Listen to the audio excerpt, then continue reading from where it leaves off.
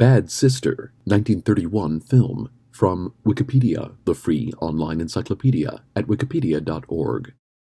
Bad Sister is a 1931 American pre-code drama film directed by Hobart Henley. The screenplay by Edwin H. Knopf, Tom Reed, and Raymond L. Schrock is based on the 1913 novel The Flirt by Booth Tarkington, which had been filmed in 1916 and 1922.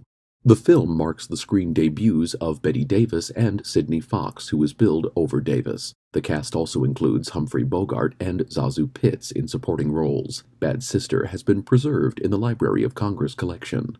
Plot Saucy Marianne Madison, bored with her routine life, falls for dashing con artist Valentine Corliss, who has come to her small town looking for fresh marks to swindle. He soon charms her into faking her well respected father's name on a letter of endorsement, which he presents to a small group of local merchants who willingly give him money. Corliss then prepares his escape, but not before conning Marianne to come away with him with the promise of marriage. Following a night spent together in his hotel in Columbus, Valentine abandons Marianne. Angry and ashamed, and unmarried, she returns home and announces to her jilted fiancé, Dr. Lindley, that she will now marry him. But having been toyed with enough by Marianne, he informs her that he has fallen in love with her shy younger sister, Laura. All is not lost, though. After confessing to her father and the duped investors, Marianne accepts wealthy but portly Wade Trumbull's marriage proposal. Trumbull bails her father completely out of his debt, and as a year has gone by, Marianne comes to be genuinely fond of him.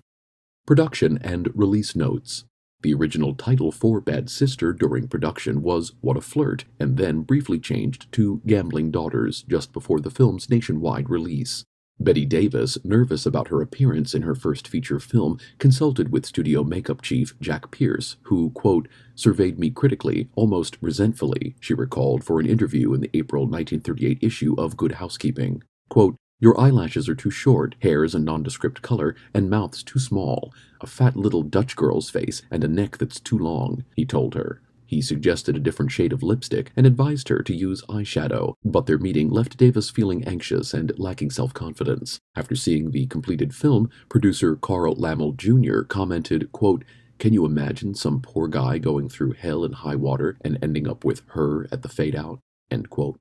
Davis was required to change a baby in one scene, and the fact the infant was a boy was kept secret from her. When she undid the diaper and saw male genitals for the first time in her life, she was so embarrassed her face reddened enough to look deep gray on the production's black and white film.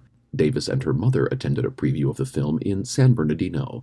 The actress was reportedly so distressed by her performance that they left before the final credits. Certain her Hollywood career was over, she cried all the way home. Cast Conrad Nagel as Dr. Dick Lindley, Sidney Fox as Marianne Madison, Bette Davis as Laura Madison, Humphrey Bogart as Valentine Corliss, Charles Winninger as Mr. Madison, Emma Dunn as Mrs. Madison, ZaSu Pitts as Minnie, the Madison family servant, Slim Summerville as Sam, Bert Roach as Wade Trumbull, and David Durand as Hedrick Madison, the son. This article was recorded on October 29, 2019.